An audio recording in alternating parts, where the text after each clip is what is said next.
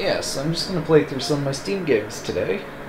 Um, and what better way to start that off than going through um, my correspondence games I have yet to catch up on. Got a game going with patches here. Uh, I've got four games in progress. Oh, incidentally, I appear to be playing the classic army in each of these.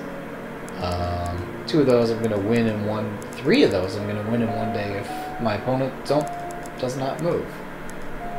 Uh, that's really weird.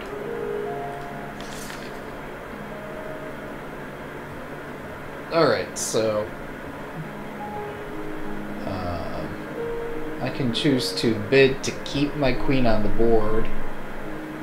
Uh, which I think I do have to do. Yeah. I just played queen takes queen. And this little bidding war means I spent two stones to keep my queen on the board. He spent two to get rid of it, because his real motivation is he doesn't want to spend a turn playing bishop takes queen.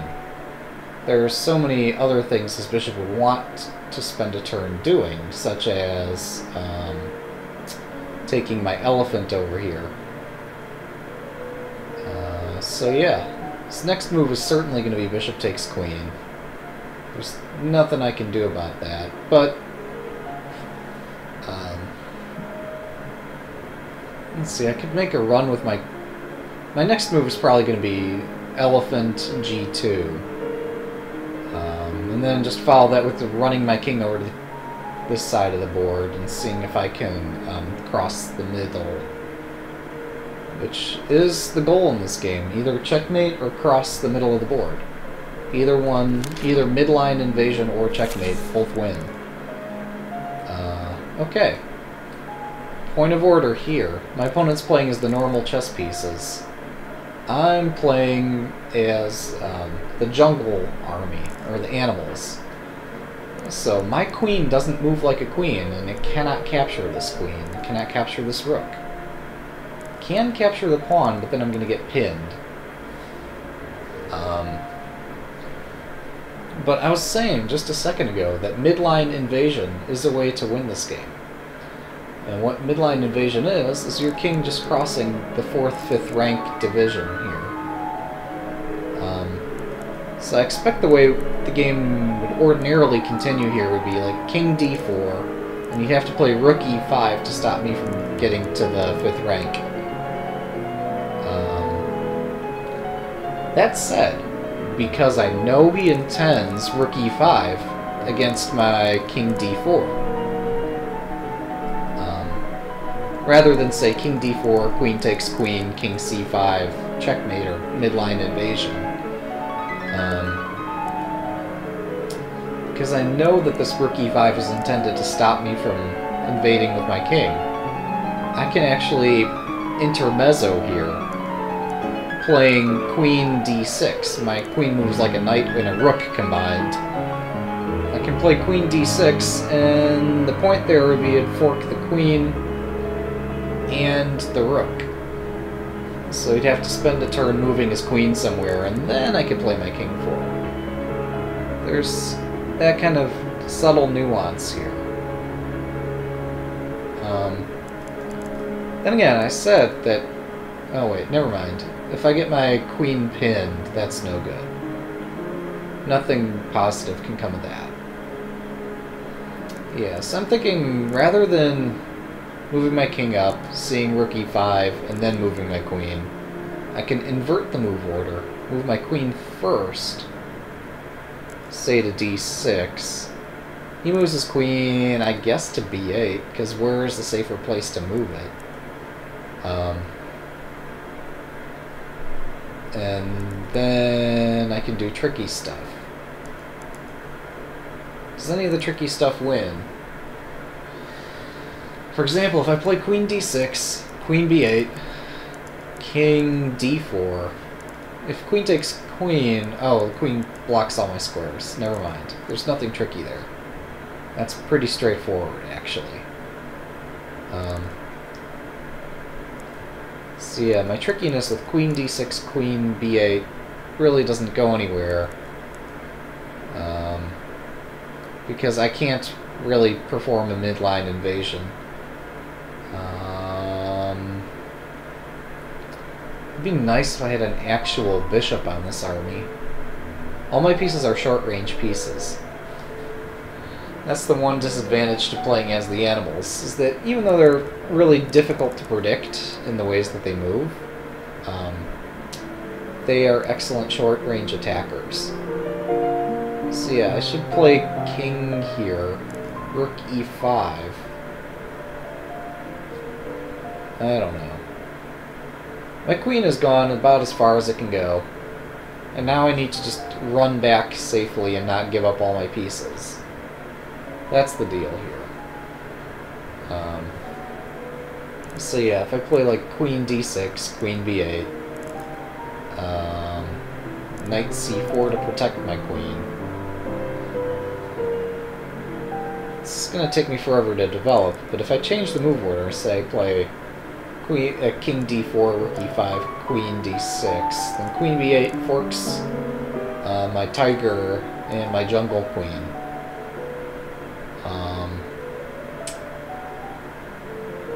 Not seeing a good reply to that. So I need to start by running away. I feel so unclever. Okay. Attacking the queen and the rook, protecting my tiger, and I can move up my other pieces uh, to help defend all this.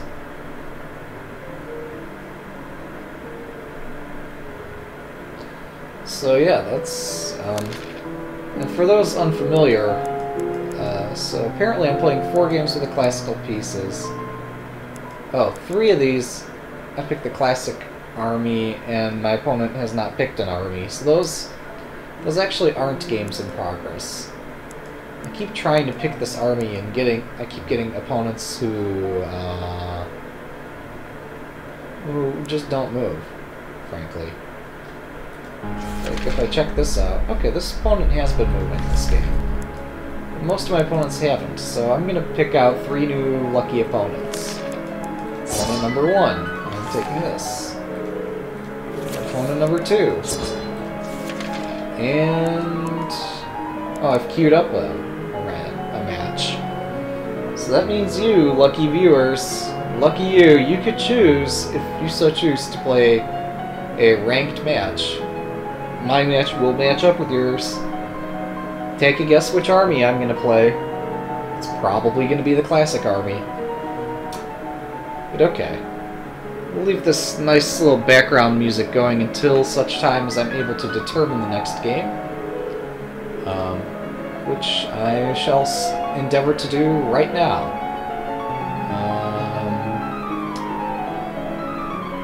Um, so what would be a good choice? And again, I've posted the link to... Yeah, you lucky viewers. If you happen to have this game, you could challenge me. Or you could even do a ranked match, and probably our challenges would match up. I'm just guessing here. I don't know these things for certain.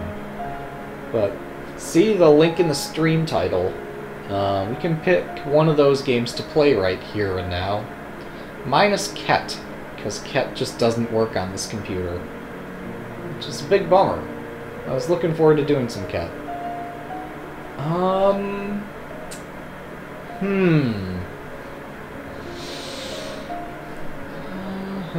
uh, I'll stay away from that for now. Let's see, what else? What would I like to... Oh! Yeah, there's a game. I got a strategy game yesterday. Um... It's not the great for great for viewer interaction though. Let me see if I can pick something else. Um, we could do one of those. We've done that before though.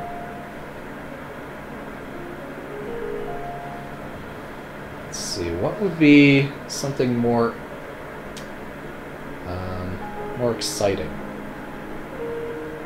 Oh! Okay. Yeah, I could play the Corporate Machine. That one could be fun.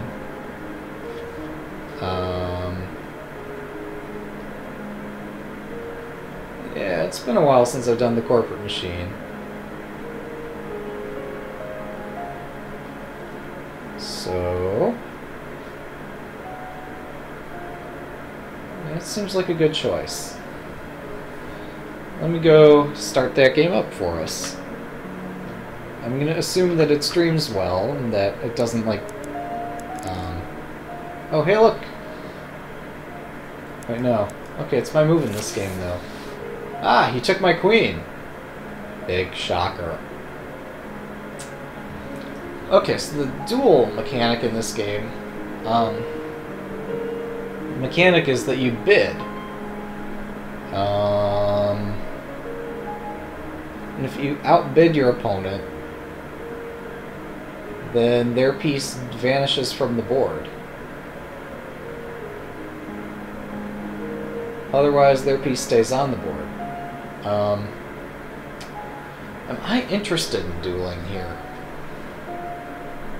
I would love to get rid of this bishop, but this could terribly backfire. Um, I might need that one stone later to complicate things somehow. But I doubt it.